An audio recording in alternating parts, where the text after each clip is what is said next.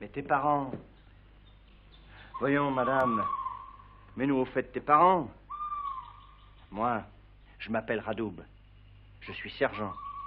Je suis de la rue du Cherche-Midi. Mon père et ma mère en étaient. Alors je peux parler de mes parents. Parle-nous des tiens.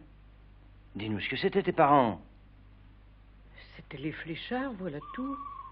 Oui. Non, les fléchards sont les fléchards, comme les radoubes sont les radoubes. Mais on a un état. Qu'est-ce que c'était l'état de tes parents? Qu'est-ce qu'ils faisaient? Qu'est-ce qu'ils font? Qu'est-ce qu'ils fléchardaient tes fléchards? C'était des laboureurs. Mon père était infirme et ne pouvait travailler à cause qu'il avait reçu des coups de bâton que le Seigneur, son Seigneur, notre Seigneur lui avait fait donner. Ce qui était une bonté, parce que mon père avait pris un lapin, par le fait de quoi on était jugé à mort. Mais le Seigneur avait fait grâce et il avait dit donnez-lui seulement 100 coups de bâton. Et mon père était demeuré estropié. Et puis Mon grand-père était huguenot. Monsieur le curé l'a fait envoyer aux galères. J'étais toute petite.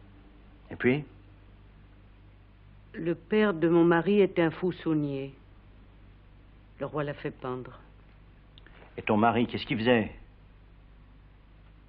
Il y a trois jours, il se battait. Pour qui?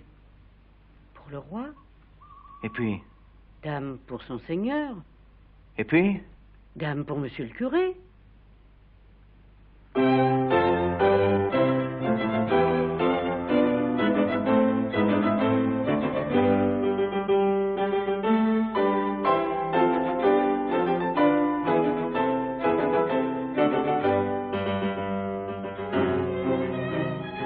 Puisque Victor Hugo et la justice nous ont amenés tout naturellement à évoquer 93, puisque nous parlons des grands hommes de l'histoire, que dire de ces deux grands hommes de la Révolution, opposés traditionnellement dans l'imagination des Français, Danton et Robespierre?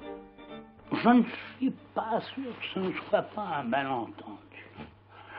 Initialement, que s'est-il passé? Danton, dont connaissons maintenant assez bien la vie compliquée, a bénéficié du génie de Michelet. L'histoire de la Révolution, ne l'oubliez pas, a été lue de tout le monde, parmi des gens qui savaient lire, et euh, prêcher aux autres. Euh, Quand j'étais en Corrèze pendant la guerre, je revois encore des types de 40 ans me parlant de l'ancien instituteur en retraite et me disant nous ne pourrons jamais l'oublier parce que euh, il nous a enseigné les droits de l'homme et les types qui disaient ça des, des paysans. Il nous a enseigné les droits de l'homme et il nous a raconté Michelet. Alors je crois que la première réponse à votre question, c'est il y a eu dans Danton un certain côté Jean Valjean. Je ne peux pas dire qu'il en est la pureté, mais comme Jean Valjean est servi par le, lyrisme puissant du Hugo, euh, Danton est servi par l'admirable écriture de Michelet, qui en fait, nous retrouvons Alexandre, un personnage mythique alors que Robespierre n'a été servi par personne. Les historiens qui l'ont défendu, certains sont fort importants, sont de bons historiens en ce sens qu'ils ont donné des documents inconnus, qu'ils ont montré la très haute valeur idéologique de Robespierre, mais nous ne pouvons pas lire ces discours, vous le savez comme moi, ils ne passent pas. Et d'autre part, il n'y a pas derrière lui un homme de génie. Et alors, quant aux communistes, ça ne va pas non plus, parce que pour les communistes, le grand homme, alors idéologiquement, de la révolution, ça n'est pas Robespierre, c'est Marat. Pourquoi est-ce que Michelet a choisi Danton? Parce qu'il savait à ce moment-là. Michelin ne devait pas aimer la guillotine. Il aimait certainement la puissante éloquence que nous savons. Il aimait certainement le patriote solaire et l'amant de la jeune fille.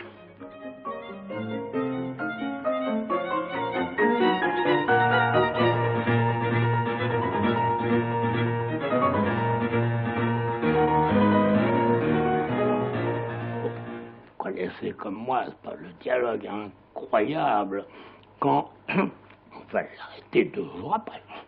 Il rencontre dans le couloir Robespierre et Robespierre lui dit tu trahis Danton. Alors il s'arrête puis le dominé de tête. Elle est crétin. On trahit, tu conspires, tu conspires Danton. Crétin. On ne conspire pas quand on fait l'amour. Il venait d'épouser une femme qui avait 20 ans de moins que lui. Bon, alors, ça, c'est pas impensable avec Robespierre. Et ni avec Saint-Just, ni avec Couteau. Les, les Robespierristes ont été à certains égards des moines.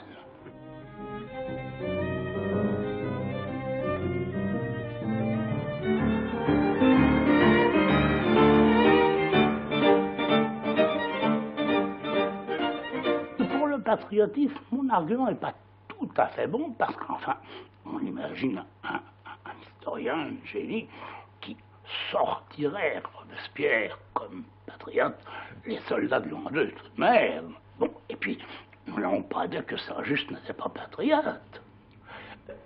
Encore un autre point, euh, le pouvoir de Robespierre est assez court. Et pour un historien, ça ne devait rien faciliter. Ah, Dans, dans tout ça dure, c'est un merveilleux personnage. D'abord, il n'est rien, c'est un avocat. Bon. Ensuite, il est ministre. Ensuite, il est la France. Ensuite, il est la guerre. Ensuite, il est accusé. Ensuite, il est presque acquitté.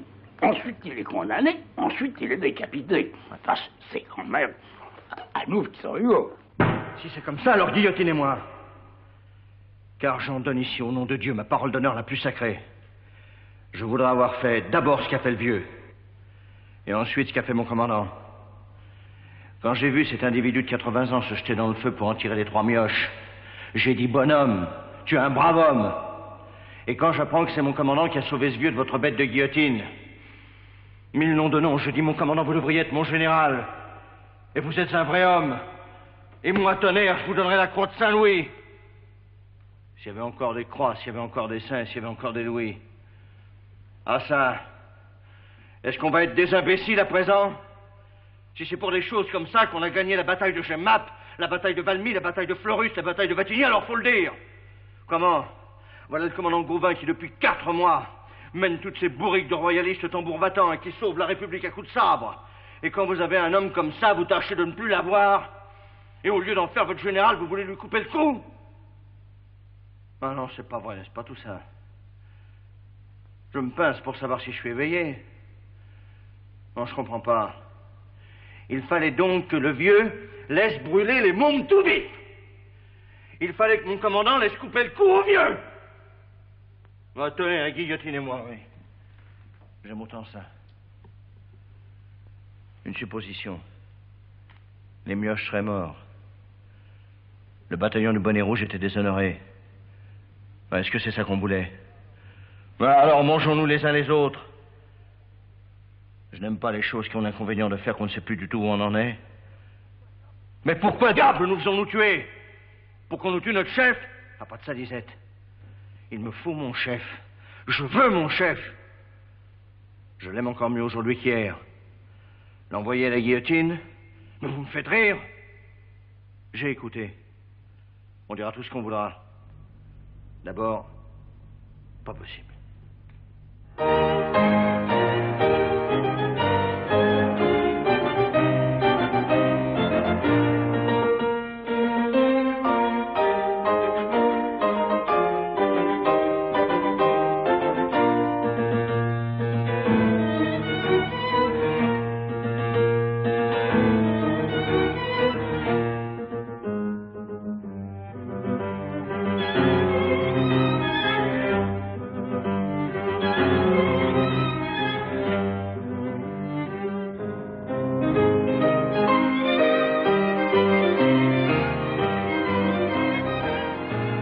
Robespierre et Danton apparaissent dans 93 Et Victor Hugo évoque longuement leur rencontre sinistre dans le cabaret de la rue du Pan.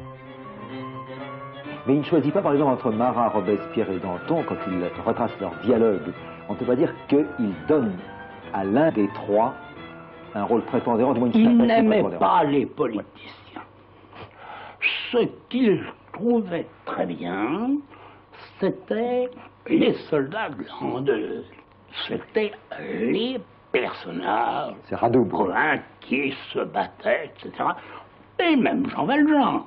Mais les politiciens, de ce point de vue, je crois qu'il était plutôt injuste. Parce que je ne crois pas que, que Robespierre ait été un politicien. Mais pour lui, sûrement. Oui. Sûrement, tout ça, tout ça, ça faisait de la politique. Ça ne me plaît pas du tout. Ça ressemble à mon beau-fils Lecroix. Et le sérieux, c'est l'espèce d'anonyme qui- fonce avec sa baïonnette jusqu'à Waterloo.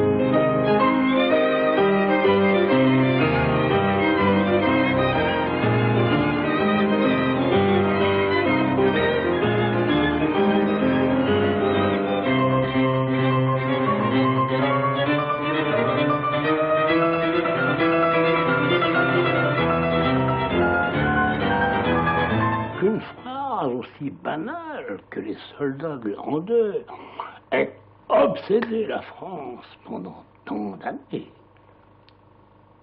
C'est- vraiment parce que c'est le passage de l'histoire. Et C'était bravo. c'était une invention de Victor Hugo? Oui. Seulement, voilà, euh, il a inventé bien des choses, puis elles se sont perdues sous la table. hein. Et, et là, euh, bon, il a inventé, et puis ça a couvert la France.